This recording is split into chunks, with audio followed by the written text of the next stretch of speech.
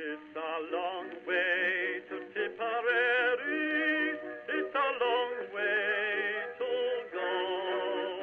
It's a long way to Tipperary to the sweetest girl I know. Goodbye, Piccadilly. All right, well, obviously it's uh, Welsh miners on the Western Front. And now, I'd just like to make a couple of things clear for the start. Um, such was the pace of recruitment into the, into the tunnelling companies that miners from all over, the, all over the British Isles were just drawn away and just put into tunnelling companies as and when they were needed. So uh, there's no actually all Welsh uh, tunnelling companies, so to speak, although I did find Welsh miners in each and every um, each and every tunnelling company. And I would like to say absolutely clearly, there's no suggestion from me that the Welsh miners were anyway sort of superior or better or whatever than the, the miners from the British coalfields. But what I'd like to think is, by me now discussing their actual experiences, then maybe you can reflect that into the, uh, the miners from all over the British uh, coalfields, um, their experiences. And I think they're a very, very select and very, very uh, courageous band of men.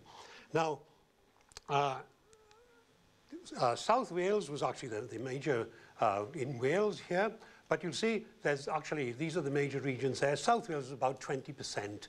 And in, in uh, 1913 was yet again another uh, record output by the, by the British coalfields, something like 287 million tons of coal, uh, 1 million people, 3,000 mines. It was a huge industry uh, going on there. But it was marred in, in Wales in October 1913 when, of course, the Universal Colliery in Senghenydd, uh, 439 people killed.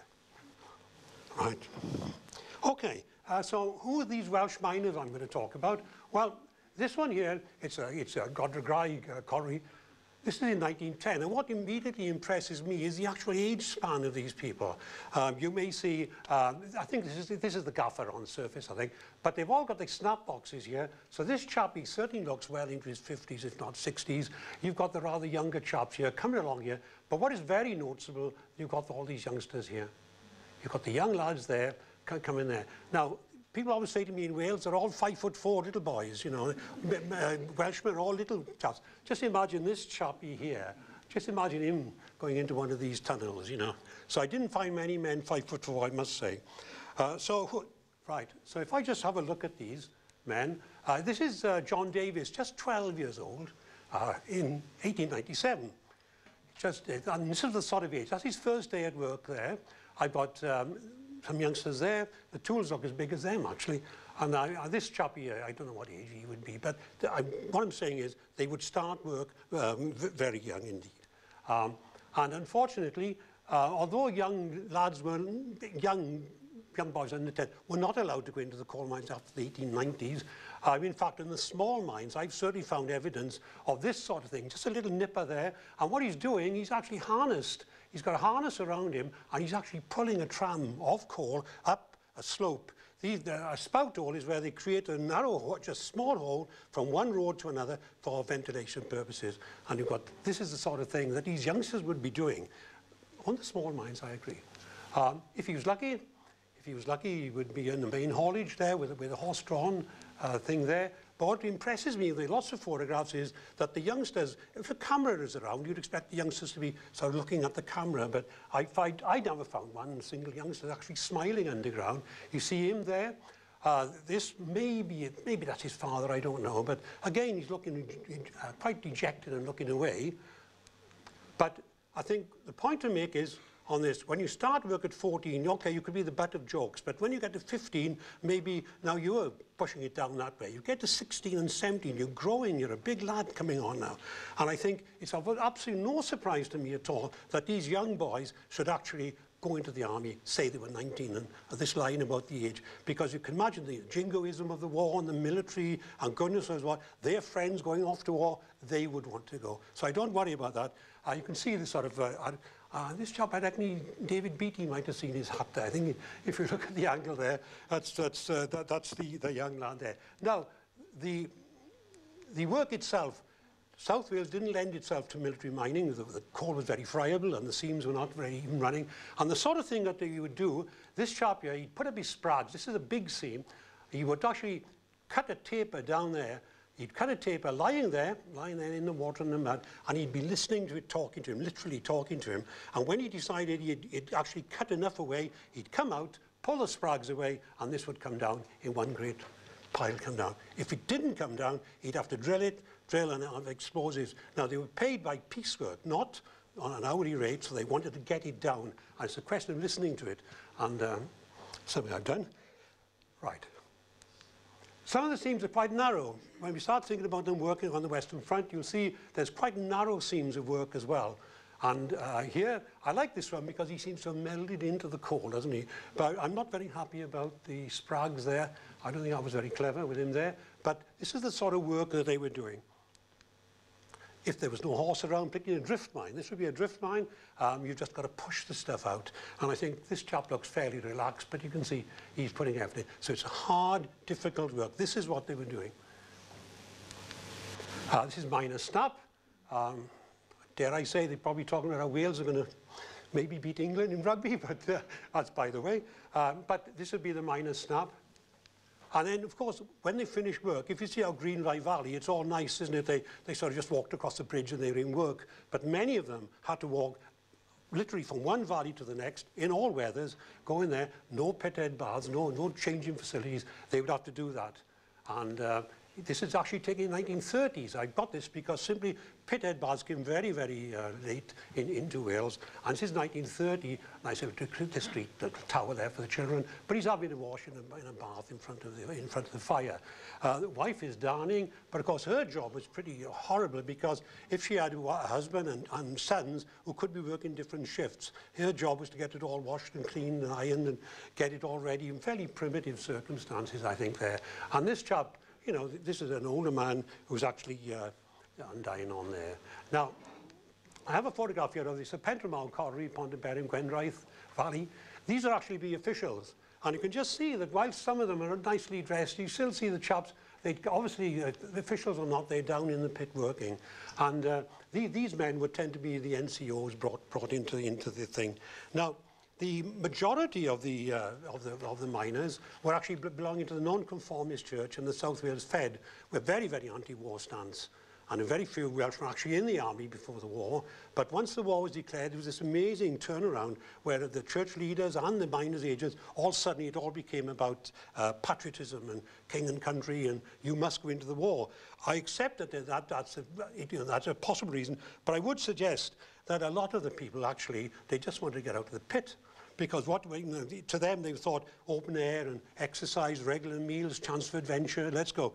And I've got a couple of quotes uh, on this. Uh, Irving Jones, when he was asked, did you volunteer? He said, I was working in the colliery and there were people joining up, you know, and I thought, oh, well, my brother-in-law, we discussed it and we decided to join up. We thought, well, a holiday maybe, you know, that's what we thought. We'd beat the Germans in about six months. That's what we thought. And the second one, Oliver Powell, when he was asked the same question, he said, oh yes, a great patriot I was, bloody glad to get out of the pit. I thought he'd be over by Christmas. 1914, what a joke. So I would suggest, that yes, they went for, for the patriotism. I'm sure, it, I think you could possibly say the older guys might, might, have, might have done this, but certainly amongst the youngsters, I got lots of answers of this. Now, when war was declared, about 150,000 Welsh, uh, British miners actually uh, went into the war in that short period from August to December when recruitment was at its peak, and uh, about 30,000 uh, Welshmen. But what's important, I think, is that when they went into the war, when they went in, there was no mining unit. There's no mining unit in the, in the army when it started in, and it was when, when the mining started, John French was to say, well, get the Royal Engineers to do it. Get the Royal Engineers. Now, if you look at this, you know, the bridge building, they're doing roads, they're doing transport, they're doing rail, they're doing all sorts of work. They didn't have any miners anyway. So there was no way could the Royal Engineers, they were hopelessly out, out uh, to far too much work anyway, so they certainly um, uh, couldn't do that. So they went in as soldiers, as, as soldiers. I think it's, it's quite uh, realistic to say that.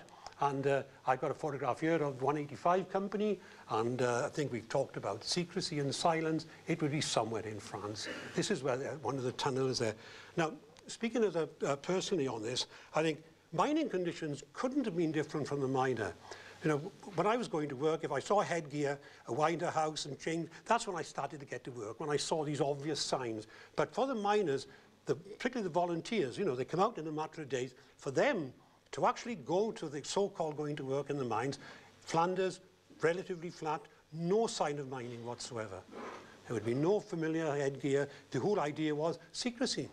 And for them to get there, they would have to find themselves down in support trenches and trying to get to the, to the place of work with artillery fire, sniper fire, certainly the, the Germans were very much aware that if there was mining going on, there would be men coming in. So it was absolutely, for me, a complete uh, different uh, thing altogether. Of course, They'd come from relatively sophisticated mining, if you want, but when the, when the mining units were put together, there was no, uh, as we've talked about the geology, there was no geologists and surveyors and all this fancy equipment and so on. They had to make do with whatever was going, and that was quite a, quite a thing for them.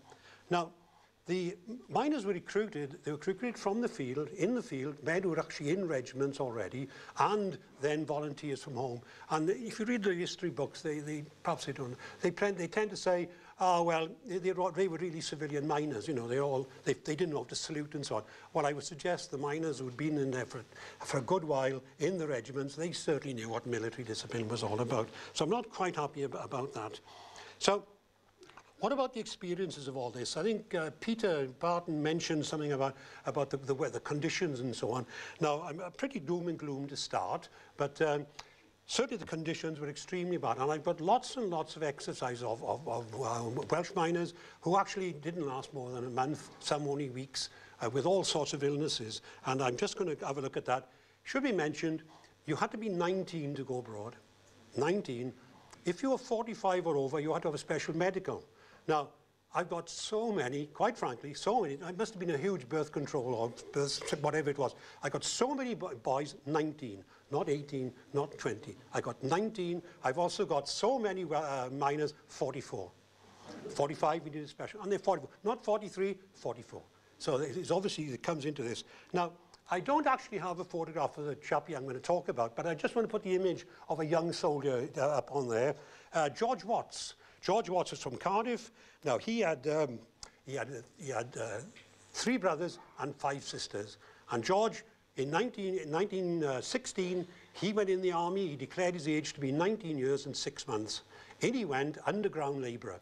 He lasted about three weeks. He was then, uh, he, he fell ill. Doctor took one look at him and said, look, lad, you know, you're just not 19. You, you, you're home. And off he went home. I looked at the 19, uh, looked at the 1911 census, and in fact, he was in 1911 he was 11 years old. He'd actually been born in 1900. So when he this 19 years and eight months, he was actually 16. He was actually 16. Now, uh, it's a, it, you've got to be careful if I say this. Anyone who's read uh, Richard Van Emden's book on boy soldiers realize the agony that the, uh, the anguish that the parents went through trying to get these young boys to come back. They'd, put, they'd give them the wrong names, they'd give them wrong addresses, they'd skedaddle wherever, and when, even when they sent somebody to bring them back, they would go missing and hiding. And you had boys of 18 who would say, um, know, I've been here two years. If you take me out now, I'll be shamed for the rest of my life. I want to stay here. You know, I'm a man now. So, so it's a very complex problem. But George was actually... Now, so a simplistic way would say he had 15 days training. Now, obviously, he didn't come home for 15 days, so the parents must have been some form of collusion, isn't there? You know, it must have been, they could easily brought him back if they wanted. So George went off and what I, what I can read between the lines, it seemed to be the father, quite frankly, was very proud, and the mother was rather nervous about it all. So George actually came home. No doubt he came home, and uh, he was a hero, I would have thought, with, you know, with his uniform. He'd been to France, and, you know, when you think of the Welsh valleys, they certainly don't, they hardly get out of the valley themselves.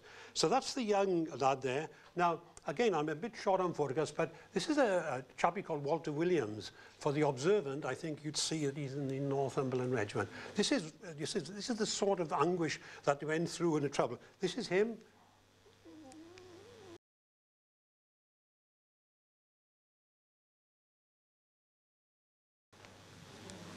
This is him two years later. Now, it's, it's estimated about 28,000 uh, young boys, underage boys were actually killed, about 100, 110,000 casualties. Uh, of course, uh, this is the, the gravestone here, Albert French, just 16 years of age. And I think if you go around the, if, if you go around the battlefields, you'll certainly see these. There is, of course, the celebrated one of the lad 14, just 14. So, all right. So that's the, that's the youngsters. Now, if I go now to the other side of the fence, to the chappies who are 44, um, lots of photographs like this. I tried to compress it a bit to give him a sort of, give him a bit, bit of body there, but that's the sort of chappie there. And the stories I have of these, there were two men, they were actually in the same street, George Purnell and George Nichols. And these two chaps enlisted together, they embarked together, they went in the, into the army, and just three weeks later, out they went. They were no longer considered to be uh, physically fit. And uh, George, who'd given his age as 44, but George Nichols made a bit of a mistake because he gave his age at 49. That's the only one I ever found was George. So as he was 49, he had to have a special medical, which he did, and it's in his service record stamped. But within, within these matter of weeks, they were suddenly found to be out. Out they went. Uh, George was suffering from uh, senility and bronchitis. Uh, George Nichols was suffering from senility and debility. Now, in a recurring story there, the medical reports seem to be okay, but once they find out that they lied about their ages, things take a dramatic twist then. George was actually, George, George Purnell, the 44-year-old, was 55, and George Nichols at 49, he was found to be 59. So, uh, the, but, it, but they both received a gratuity payment of £12.10 now, they were both married with children, and I'm just a little bit amused when they got home. I wonder what their wives said. could you imagine them getting home? You you know, I, I just imagine that. He could possibly say he got 12 pound tens out of it, so, so that's not too bad. Um, now, although the conditions were pretty bad in, in, in, in um, South Wales, in the underground, the slate mines, the story is absolutely dreadful. The conditions that they worked under far worse than anything in, in slate mines. And I have a story here which I find quite amusing. Uh, we have uh, six miners turned up from Blaenau Ffestiniog, which is a slate mine, and uh, they came there. The, the, the, uh, do the doctor took one look at them and said, I cannot pass these guys. I mean, some of them got malnutrition. I, I can't. So there was a chap, Frederick Highland, who was a, was a a well-known tunnel to come. He was desperate for money. He said, look, I'll, I'll take them short term if I have to. As long as I got somebody now, I need... He said, well, you'll have to sign for them. So he signed for them. So he went in to see them, six lads, and he said, boys, don't have to worry, you've all passed your medical. Wonderful smile from everybody, not a tooth in sight. So that's, uh, that's it there. So, and it was quite interesting, you know. They got a 20 pound gratuity. Uh, 20 pound gratuity and I got another team of six that came out within three weeks. I went back. And I just wonder whether 20 pounds came into it. Perhaps a bit cynical, but uh, uh, well, the doctor was obviously saying they were fit. That's it. Um, it unfortunately, it, wasn't confined just to, uh, just to the older people. I'm afraid I found people there um, with tuberculosis was, was quite rife amongst these, uh, particularly the young men. And, and, and John Daniel Thomas, just 21, uh, he lasted for two and a half months and before being considered no longer physically fit. His medical report said, taken ill with cough and pain inside, and after coming out of the trenches, he had lost two stone in weight. And uh, he was found, the cause of discharge was given as tuberculosis, disease of lungs. He was awarded a pension of 25 shillings, but as uh, this thing carries on, uh, rather only to be reviewed. If it was over 20%, you got to you got to you got to buy a pension. Under 20%, no. And I've got lots of cases where it says not 20% or 19%. And and uh, and so when it says to be reviewed, I, I'm not quite sure what happened there. But um, the one that I'm not happy about, because um, I, I followed this up with the family, uh, it's, it's a pretty well-known uh, thing of, of, of somebody being gassed. Now, uh, Edward Thomas, uh, he, well, he, he enlisted, and he gave his age as 44. I kid you not, he's 44. But um, he was actually gassed on two separate occasions. The second, sufficiently serious, he was repatriated and he came home. At the age of 44, when it came to his medical report, it's a nice even report. This man is now 50%. 50% disability, uh, but then he was found out that his age was actually 49. And the whole reports changed, it said, and it's actually got written on his medical report, date of origin of disability indeterminable. So now they swung it over that it was actually his mining experience rather than the gas. And then it dropped very quickly from 50%. It dropped in every six months. And then I had a, a senior surgeon, he'd himself. He says, next board, please report whether aggravation due to active service has completely moved away. Perhaps I'm a bit cynical, but six months later, there's the report, no grounds for further pension or gratuity, no disability. And Edward died six months later. So these things about pensions are rather difficult. It's, a, it, it's something that uh, I've had people modern soldiers today telling me it hasn't changed much, but I'll probably pass on that. Right, anybody who's been at the battlefield will know that the shell holes, you know, is prevalent there. And I have a story of Walter Jones. He was, uh, he wasn't 44, Jones. And his medical report says, this man fell into a shell hole full of water and was unable to get out for several hours. His illness dates from this and he was sent home in December 1915 suffering from rheumatism. But he went back to France in February 1916. Just two months later, after rheumatism, he's gone back. Again went sick and had rheumatism in feet, knees and spine, uh, result of active service. Active service. Disability for 50% for six months, then likely, to then likely to improve. Within 12 months, he was judged to be quite fit and he didn't get any more pension. So they obviously had a cure for, cure for rheumatism, presumably. All right, that's enough uh, doom and gloom, I think, from me. Um, uh, medal ceremonies. Um, Obviously, they, when I talk about the Welsh miners, I'm talking of the miners at large, but there were three cases I'd, I'd like to mention here. Uh, James William Hall, it says here, he had a DCM for conspicuous coolness and resource under fire on the 9th of August 1915. His section officer was severely wounded and buried in the ruins of dugout, but Hall rescued him under heavy shell fire and conveyed him to safety. He then rallied and took command of his section, posting them in a mine gallery. And I think that reflects the, the, the, the, self-discipline that every miner had, didn't he? He was underground, he had to look after himself and the men around him. So that doesn't surprise me. Uh, David Edward Lewis from uh, Sinclair's in Carmarthenshire, uh, he went on a, a trench raid. Now, anyone followed up these trench raids, you can imagine at night, these chaps crawling over these shell holes and the mud and trying to get to the other side. Germans obviously alert and they get over the other side and they say they're going to take a prisoner or assess what was there. But David John Lewis with explosives on his back, he crawled over, he, he, he had some idea they were mining over that side. He get down into the German trench and he actually found um, uh, entrance, he took the explosives, threw it down and actually exploded down there. So that was quite a, a brave act, I think, he got that. But the story I do like to tell is a man called William Morgan. Now, William Morgan was with two others. He's working at the face. He's working at the face. Now, don't forget, this is this four-foot face down there somewhere. It's not sort of birdsong type thing. He's down there.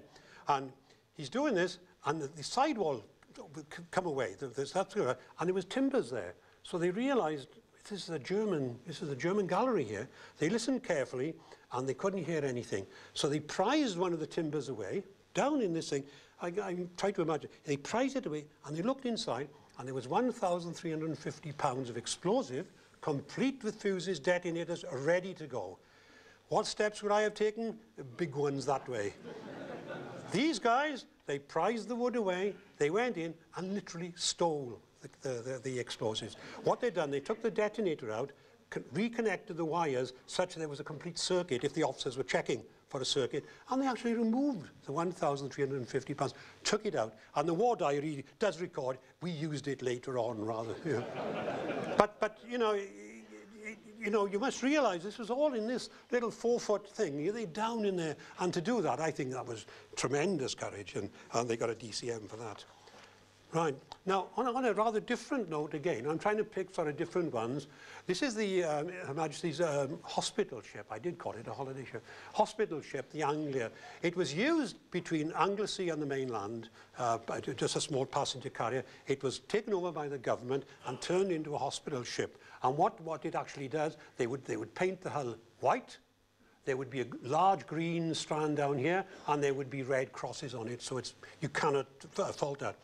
It was carrying, figures seem to doubt on this, the king had actually used this, in, had come back from France in early November, so I'm talking late November, and uh, what happened was, it was said there was about 500 on board, they had casualties, amputees, and um, what have you, doctors and whatever else.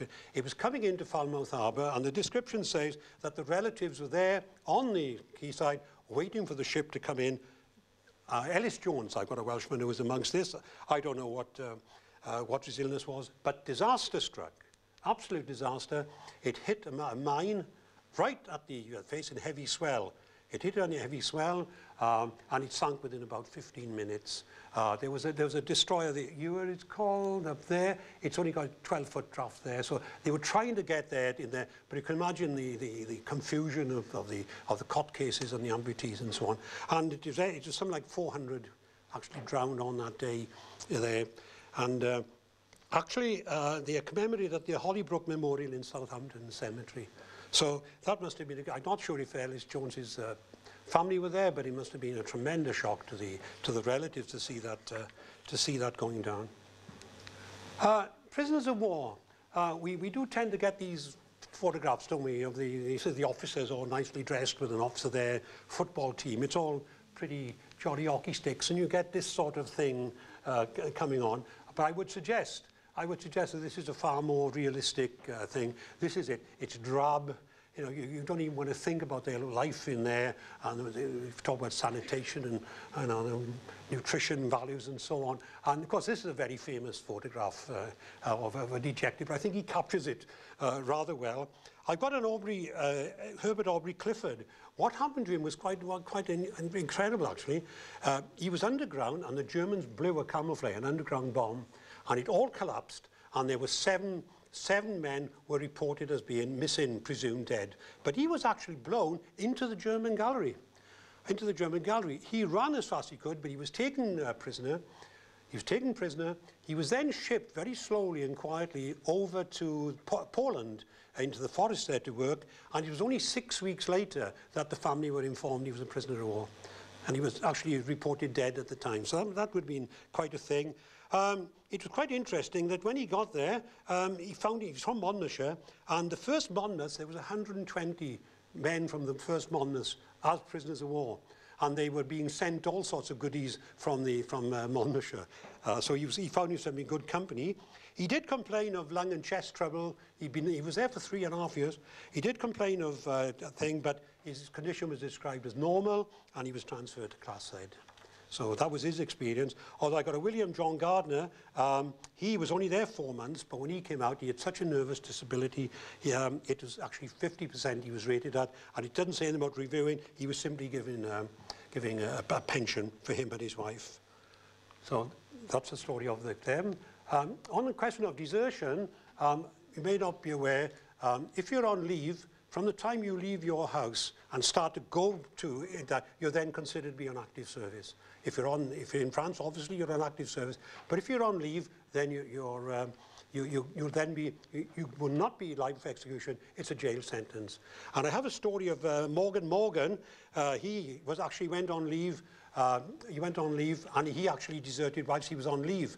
And they got all sorts of things coming here from the police station in Rumney saying all possible inquiry to find him, etc., etc. Goes on. But then the chief constable of, of uh, Glamorganshire, not just the area, he says, please look in his mother's courthouse.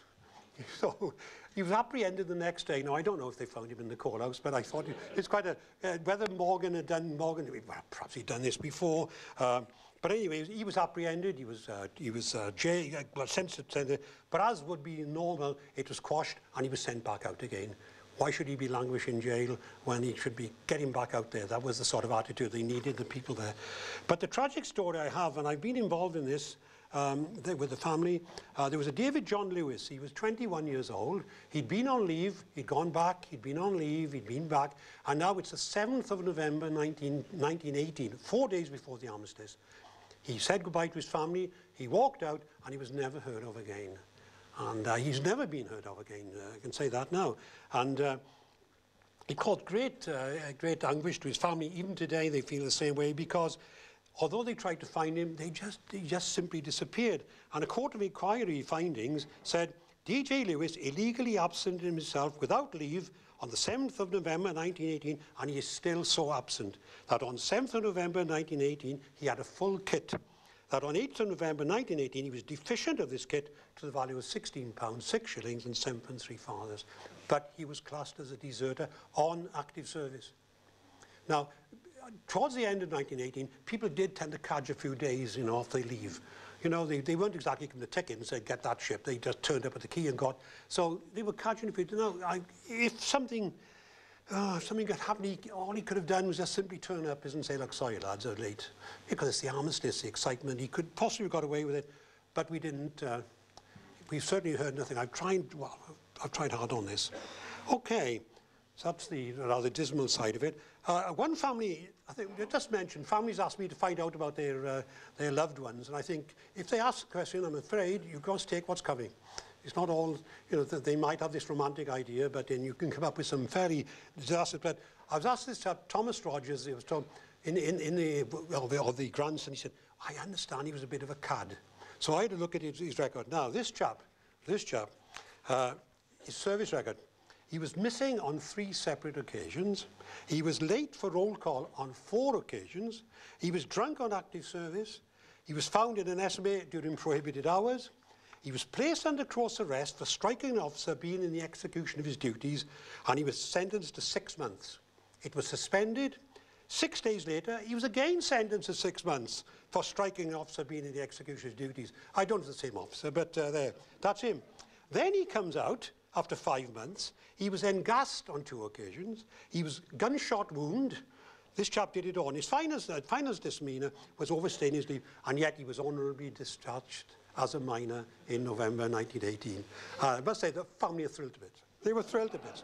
They were thrilled to bits on that. And uh, the other one then is John uh, Christopher Chilcott. With this lad, it says here, uh, he was guilt, uh, conduct to the previous side of good order and military discipline in that he, in the field at 10.30 p.m., was found near a house of a civilian in possession of obvious plunder, namely 10 bottles of wine. good man. What he was doing with 10 bottles of wine, what was he going to do with the 10 bottles of wine? What happened to the 10 bottles of wine? Perhaps what he's interested in. But that's, a, that's the sort of thing I have there. Um, on the other side of things, uh, on a post-armistice, this chappie, he was actually on leave when armistice was called, but he was told to go back. So he said farewell to his family. He'd come through the war. He went back, and uh, you know that the, the, the miners after the armistice did an awful lot of uh, defusing bombs, booby traps and delay action and landmines. And he actually was injured whilst on duty, accidentally wounded in left buttock by explosion of bomb in a tunnel mine. So obviously, and, and uh, I don't, I haven't got records of people actually being killed after the armistice, but I've certainly got uh, reports of these men actually being injured whilst doing this, whilst doing this job. What is interesting, although he was uh, he said there was no obvious damage, uh, permanently unfit, it's interesting he was actually given a, a gratuity of £52.10, which is an awful lot of money compared to what other men were getting, £12.10, £20. So 50, perhaps, perhaps it was after the war, I'm not quite sure. Okay, I'm pushing on now, coming near the end. Uh, this is a remembrance. I'll come back to this gentleman later, but just I'd like to just sort of uh, remembrance to these people who died. What about the men who actually died out there? And I've got three men actually. Uh, again, I got involved with the families. I, I've learned a lesson on this. I've got learned that. The first one, John Williams, he's from Llanrumney in, uh, in, in uh, Monmouth. The war diary says, two sappers asphyxiated in mines, having descended in disobedience of orders.